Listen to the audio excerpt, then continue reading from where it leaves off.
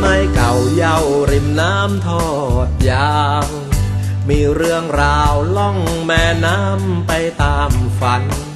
เรือลำน้อยไหลล่องลอยจากสุพรรณไหลนำพาเด็กชายปั้นให้พลิกพันจากไพรพง เหมือนลำเรือเนื้อสายน้ำปราถนาล่องนำพาสามัญชนสู่ฝั่งสูงส่ง เป็นผู้สำเร็จราชการแทนพระองค์ นามจารึกดำรง เจ้าพระยายมมาราชเจ้าพระยายมมาราชผู้เปลืองปราดและปรีชาชาญช้างป่าต้นคนสู่พันกล่าวขานสร้างคุณูปการ ให้ลูกหลานควรจดจำ รือนหลังเก่าเยาวย้อนประวัติศาสตร์ เจ้าพระยายมมาราชสร้างธรรม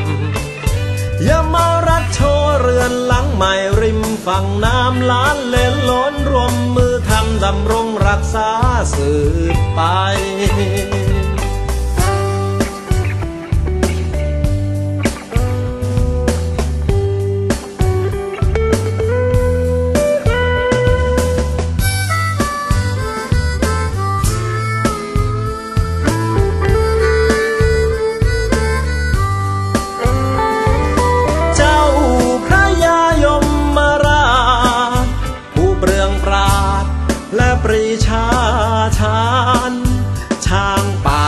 คนสุพรรณกล่าวขาน สร้างคุณูปการ ให้ลูกหลานควรจดจ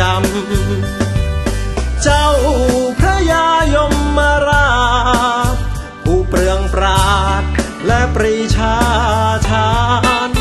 ช้างป่าต้นคนสุพรรณกล่าวขาน สร้างคุณูปการ ให้ลูกหลานควรจดจำอย่ามารัดโช